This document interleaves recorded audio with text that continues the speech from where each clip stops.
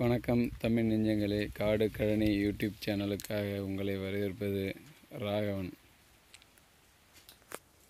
இன்றைக்கி நம்ம எதை பற்றி பார்க்க போகிறோம்னா நம்ம நிலங்களில் அதுவும் இந்த சிற்றோடை வாய்க்கால் இது போன்ற பகுதி நீரோட்டம் அதிகமாக உள்ள இடங்களுக்கு பக்கத்தில் உள்ள அருகில் உள்ள நம்ம நிலங்களை வந்து அந்த மண்ணரிப்பிலிருந்து பாதுகாப்பது எப்படி? அப்படிங்கிறத பற்றி தான் இன்றைக்கி நம்ம பேச போகிறோம் இப்போ பார்த்துட்டு இருக்கீங்க. பார்த்துக்கிட்டு இருக்கிறது வந்து கற்றாழை அப்படின்னு சொல்லுவோம்.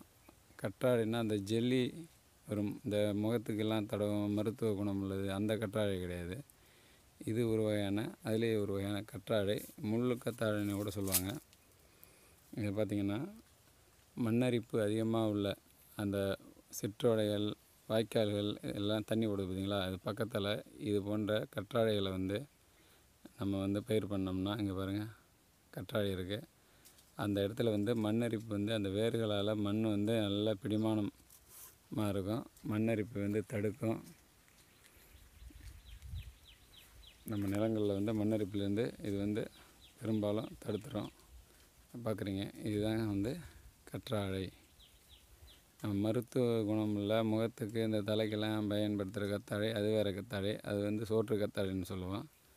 இது ஒரு வகையான கத்தாழை. இது வந்து முள் கத்தாழைன்னு கூட சொல்லுவாங்க. பாருங்கள் இது வந்து நம்ம வந்து உயிர் வேலியாகவும் பயன்படுத்தலாம். கத்தாழையை நெருக்கமாக நட்டு நாம் இதை உயிர் வேலியாகவும் பயன்படுத்தலாம். நல்லா நெருக்கமாக இருக்கும். இதோட வேர்கள் வந்து மண்ணை ரொம்ப பிடிச்சிக்கும்.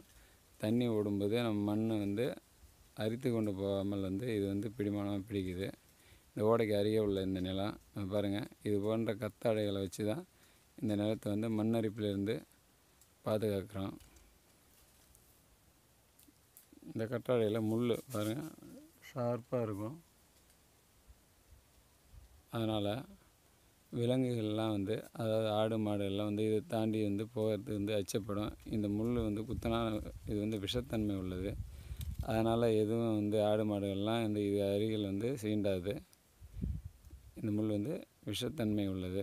நமக்கே இந்த முள் குத்தினா கூட அது அபாயகரமானது தான். அதனால் இதை ஒரு உயிர் வேலியாகவும் பயன்படுத்தலாம். விலங்குகள் இதை தாண்டி செல்லாது.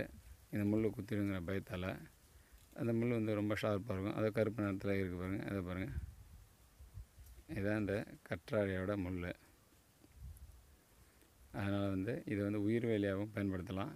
நீரோட்டம் ஓடை பக்கத்தில் உள்ள நிலங்கள்லாம் வந்து நல்லா வரிசலாக வந்து இந்த கற்றாழையை வந்து நட்டு வச்சிட்டோம்னா நல்லா இது வந்து நல்லா பறந்து விரிந்து வளர்ந்து இது வந்து ஒரு உயிர் வேலி போன்றும். மண்ணரிப்பை இந்த தடுத்தும் இது நம்ம நிலங்களை வந்து காப்பாற்றுறோம் இதனோட இன்னொரு பயன் என்னென்னா இதை பாருங்கள் பார்த்திங்கன்னா இதில் நார் ஒரு வகையான நார் இருக்குது இந்த நாரை வந்து நாம் எடுத்து கயிறு விரித்து பயன்படுத்தினோம்னா இது ரொம்ப வந்து வலிமையானது.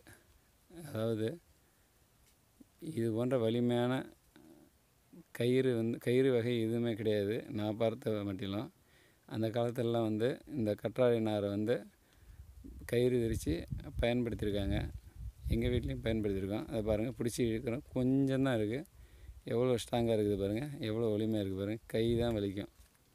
இல்லைன்னா கை வெட்டும்.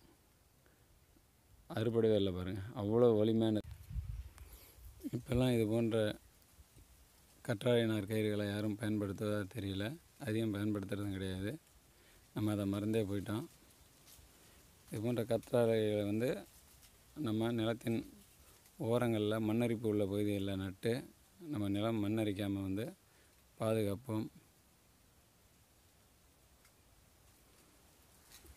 இந்த கத்தாழையை வந்து எப்படி வந்து நம்ம பெருக்கம் செய்கிறது அப்படின்னு பார்க்கணும்.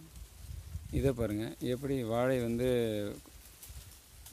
கன்று வெடிக்குதோ பக்க கன்று அது போல் கொஞ்சம் தள்ளி தள்ளி இது மாதிரி சின்ன சின்ன கன்றுகள் அது வேரிலிருந்து வந்து இது போல் கன்றுகள் வந்து வெடிக்கும். இதை பாருங்கள் இது போல் இருக்கும். அதை வந்து நம்ம பிடுங்கி பிடுங்கி கொண்டு போய் எங்கே மண்ணரிப்பு இருக்கோ அங்கே நட்டு அதை வளர்த்து மண்ணரிப்பு வந்து நம்ம வந்து தடுத்துக்கலாம். உயிர்வேலியாகவும் பயன்படுத்திக்கலாம். இந்த தகவல் உங்களுக்கு பிடிச்சிருந்தா லைக் பண்ணுங்கள் இது பிறருக்கும் சென்று சேரணும்னா ஷேர் பண்ணுங்கள் இது போன்ற நிறைய தகவல்கள் உங்களுக்கு வரணும்னா இந்த சேனலை சப்ஸ்கிரைப் பண்ணுங்கள் பக்கத்தில் இருக்கிற மணியை ஒரு தட்டு தட்டிட்டு போங்க. நன்றி வணக்கம்.